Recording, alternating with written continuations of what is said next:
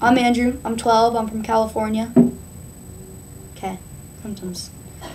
My symptoms were before I came was really bad lightheadedness, 24/7. No matter what I did, anything, laying down, standing up, watching TV, doing just whatever, I was lightheaded.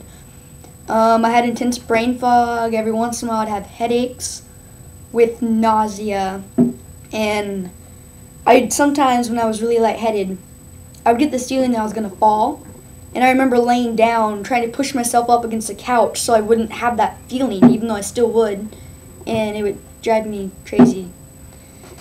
So now that I've come to the program, my dizziness has gotten way better. Instead of maybe being 8, 9, 10 on a scale, it's like a 3. And I don't have the feeling I'm going to fall anymore.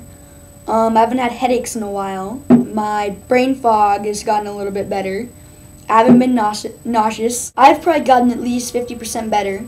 And my dizziness, like I said, went from an 8 to a 3 in just like 12 days, and that was amazing. Medicine actually was not working for me, and I actually had to get IVs because medicine would not help me. So I had to get IVs twice a week. Now, I'm, hopefully, I won't have to get IVs anymore and get poked twice a week.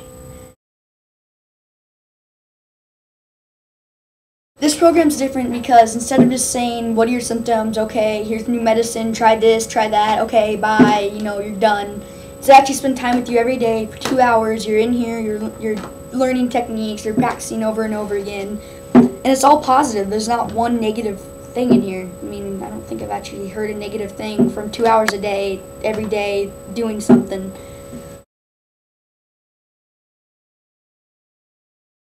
I was excited to come to the program because I saw a video one time on YouTube about a girl who had POTS that medicine was not working for her, so she had to wait like four more years before she got better.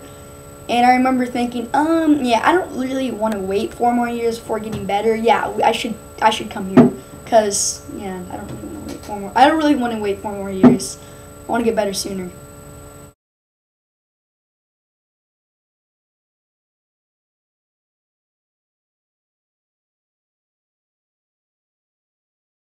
Goal when I get home is to start school again because I'm out of school doing homeschooling.